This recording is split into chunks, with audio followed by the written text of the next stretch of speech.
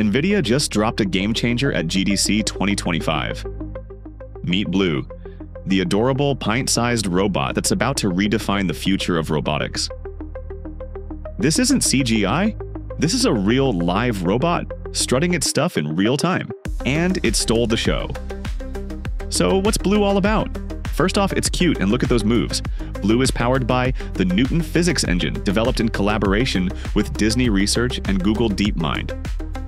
This engine lets Blue simulate realistic movements and interactions, making it a powerhouse for robotics and machine learning.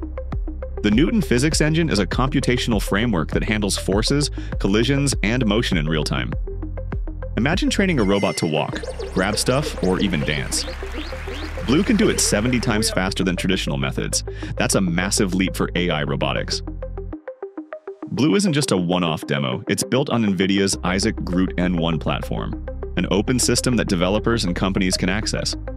That means we're not just looking at a cool prototype, we're seeing the foundation for a whole new wave of smart robots.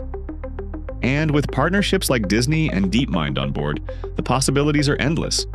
Think theme park robots, self-driving helpers, or even home assistants. Now, Blue's not hitting store shelves tomorrow. It's a prototype showcasing what's possible. But with NVIDIA's track record, we'll see this tech trickling into real-world applications sooner than you think. What do you think? Would you want a Blue in your life? Let me know in the comments below.